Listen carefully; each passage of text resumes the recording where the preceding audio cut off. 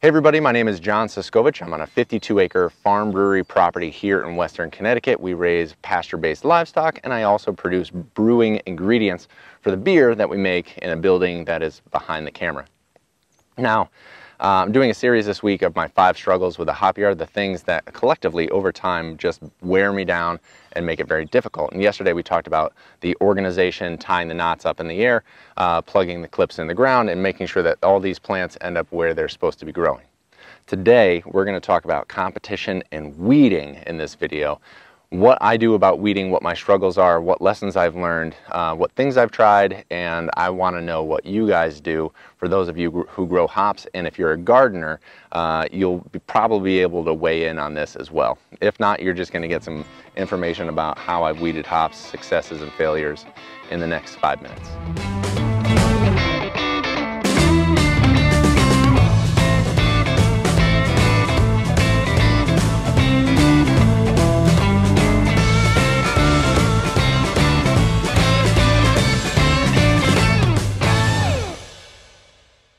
So the trick with weeding I found is getting ahead of it and staying ahead of it. And if you don't stay ahead of it, a little task becomes a huge task. And that's when you have too much competition, you have crop failure, um, you have too much pressure, or the weeds just, you know, they're pulling nutrients out of the ground, competing with your hops. And when you pull that out and cast it aside, you're essentially taking the food away from the hops and throwing it into your rows or getting rid of it altogether.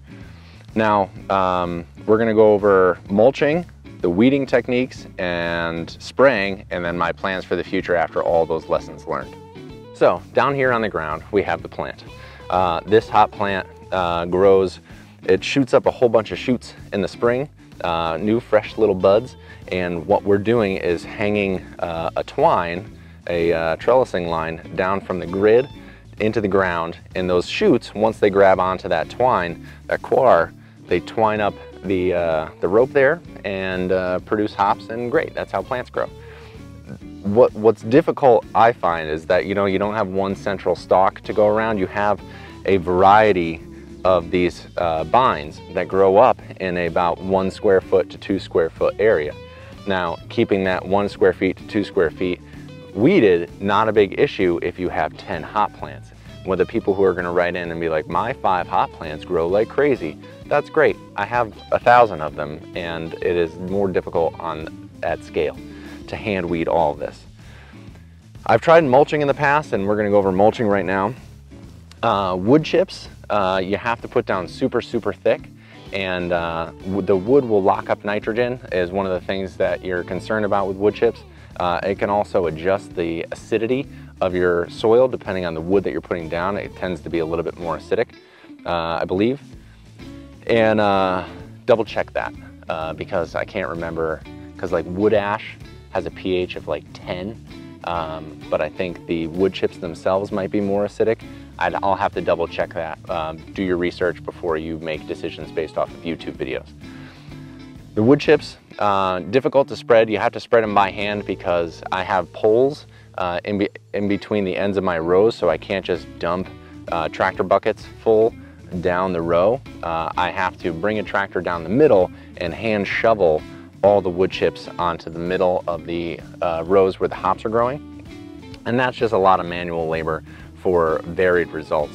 You know, you'll still, with wood chips that aren't traveled on and aren't uh, raked or kind of turned a little bit, uh, disturbed, you're still gonna get grasses that come up through, you're still gonna get some weeds that come up through, and as they break down over time, those plants are gonna find their way through the wood chip, so it's only good for a season or two before you have to keep reapplying. I've also tried hay down on the rows where you put thick pads of hay, like you get a square bale of hay and it breaks up into pads, you put the whole pad down and that really snuffs out the weeds in between. And that way, even if say I have two plants this far apart, I can put a pad in between each one and minimize my weeding where I'm not weeding the whole row, I'm weeding this section, not this section, this section, not this section, and I kind of checkerboard it. Uh, that has varied success, but again, as the hay breaks down, hay or straw, um, weeds can get through it. Uh, you'll have to reapply. You have to buy all that hay in uh, or straw to, to mulch it, and you have to go through, break them apart, and put them down. So the time you spent mulching you might as well spend weeding and then the weeds are gone. So I, I don't know that that's a perfect answer either. I have had friends who have tried plastic mulch and that you put down a thick plastic like 10 year mulch and uh, punch holes where the hops come through. And I found that with the cultivation, hilling, uh, and for me, it would just be so hard to put it down because it's easier if all this is dirt and you're starting with dirt and you put down the mulch later and then you punch your poles in either offset or, you know, in between at intervals with the uh, plastic mulch uh, between the poles. Where uh, to do all that work to try to get mulch, that plastic mulch down in my hop yard is just would be so difficult to get all the edges underneath and then you get a strong wind or a storm and it starts to pick up and then you hit it with a lawnmower once or it gets snagged on something and then that plastic mulch shreds into a plastic nightmare very quickly. Uh, it can work really well for temporary vegetable farming. I've done that in the past. Um, but for the permanent installation, I don't see plastic mulch as a good viable solution.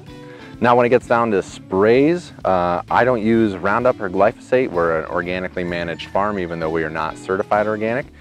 Um, so the only thing I've done for sprays is I made a mixture, and I'll make another video about this, of uh, acetic acid, which is white vinegar at a 5% dilution, uh, Epsom salt or magnesium sulfate, is just Epsom salt, uh, and then um, dishwashing liquid, and the dishwashing liquid helps it stick.